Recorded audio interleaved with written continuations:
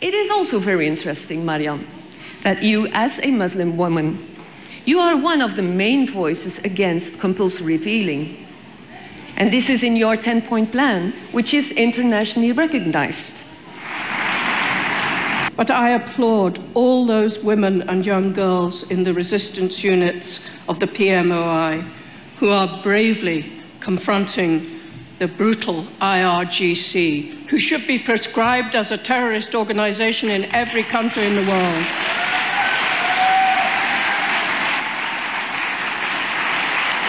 They will, their hope will be realized. Iran will be free. Thank you. È grazie alla forza, al coraggio e alla determinazione di queste donne che il cambiamento è già in corso.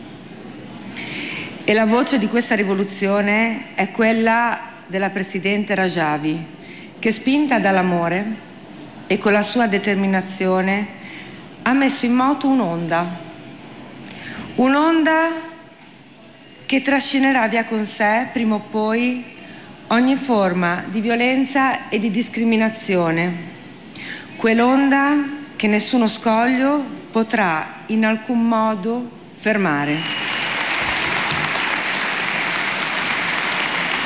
Behind the facade of Iran's historical beauty lies a regime that suppresses dissent and stifles basic human rights, particularly for women who dare to speak out against injustice. But greatly, the Iranian resistance stands tall and does not know the meaning of giving up. And this gives us hope. Shown by the Iranian women and girls is a testament of the resilience of the human spirit in face of oppression. We must raise our voices against the darkness in Iran. I want to let you know that the Danish people and the Danish government is, is behind the women of Iran today that the struggle for gender equality and justice remains a challenge, with Iranian women demonstrating unparalleled resistance and courage for their cause. We stand in solidarity with Iranian women and their quest for equality, justice, and human rights. Thank you very much. Hoy tenemos que recordar cuando se celebra el 49 aniversario de la Declaración de las Naciones Unidas, como el 8 de marzo, Día Internacional de la Mujer, a mujeres que han muerto en manos de un gobierno opresor como Masa Amini o como otras mujeres que desgraciadamente ha sido su voz silenciada.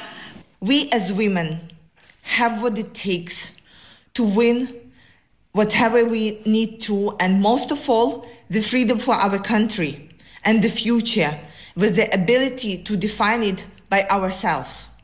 We can and we must win against the tyranny. Salue les courageuses filles et femmes d'Iran dans les unités de résistance qui se battent aux côtés des hommes pour la liberté de leur peuple et de leur patrie.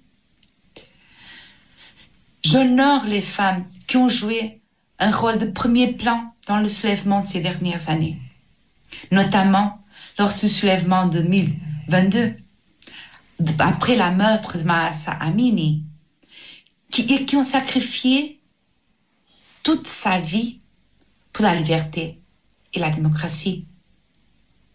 Je réitère mon soutien au plan du point de Mme Rajavi pour l'avenir d'Iran. And today you, Madame Rajavi, are continuing this proud tradition, inspiring a whole new generation of Iranian girls to actively take part and shape the future of their country in a free, democratic republic. Indeed, your determination and your leadership is inspiring women all over the world.